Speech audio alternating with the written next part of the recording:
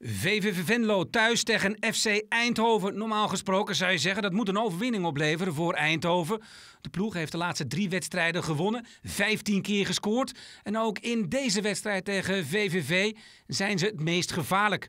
De ploeg van Jos Luukai heeft de laatste vijf wedstrijden op een rij verloren. Vermeulen legt hem terug. En daar het verdedigende werk van eh, Dekker kopt hem beide nog in eigen doel. Het levert Eindhoven een hoekschop op.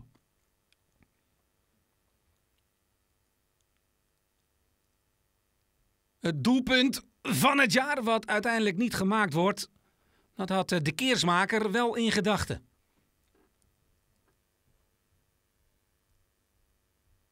Eindhoven heeft het altijd wel uh, heel lastig. Hier in de koel van VVV, de laatste vijf keer dat ze hier op bezoek kwamen, leverde vijf keer een overwinning op voor VVV. Jort van der Zanden in combinatie met zijn ploeggenoten levert geen grote kansen op. Zoals deze hele wedstrijd eigenlijk geen grote kansen opleverde. Dit is nog een aardige mogelijkheid. Maar ook deze kopbal gaat er niet in. De kopbal van Bogaars.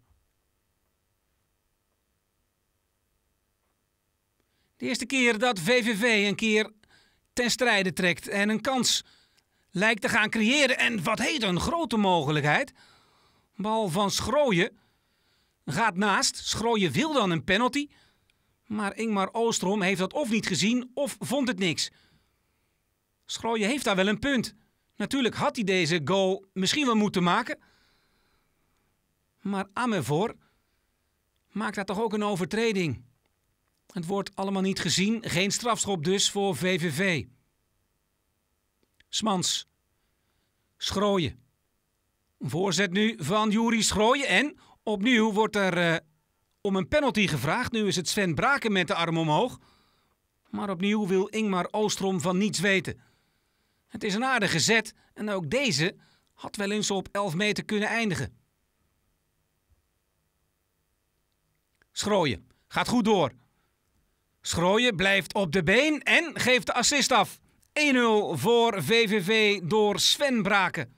Met een hoofdrol voor Juri Schrooien. En dat is toch wel een verrassende tussenstand. Balverlies van Jort van der Sande.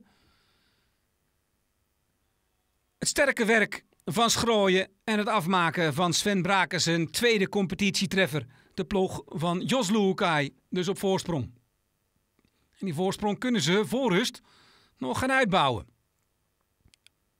Smans met de voorzet, bal weggeknikt. Poging van afstand van Mitchell van Rooyen. VVV kan in ieder geval uh, vertrouwen tanken uit die eerste helft. In de tweede helft opnieuw VVV in de aanval. Schrooien kiest positie en die kopt die bal bijna net zo hard weer terug naar daar waar die vandaan kwam. Zwakke kopbal van Juri Schrooien. Maar de toon is wel gezet in die tweede helft. VVV wil op zoek naar de 2-0. Swans. En daar is de 2-0. Mitchell van Rooyen kopt raak. En zo Eindhoven verder in de problemen. Eindhoven had nog wel een kans om die tweede periode te kunnen pakken, maar dan hadden ze wel moeten winnen in de koel. Het kan nog, de tijd dringt, half uurtje te gaan, achterstand twee doelpunten.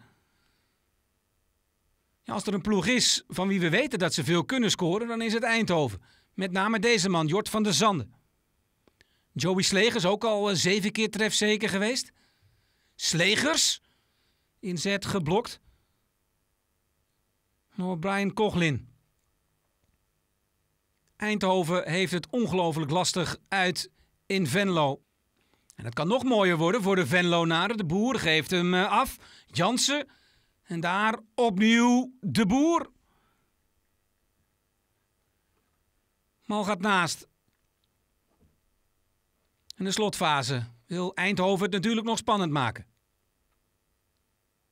Kopbal, makkelijke prooi voor Delano van Krooi, die ook in deze wedstrijd de keeper is van VVV en hij houdt de nul. VVV wint verrassend met 2-0 van FC Eindhoven.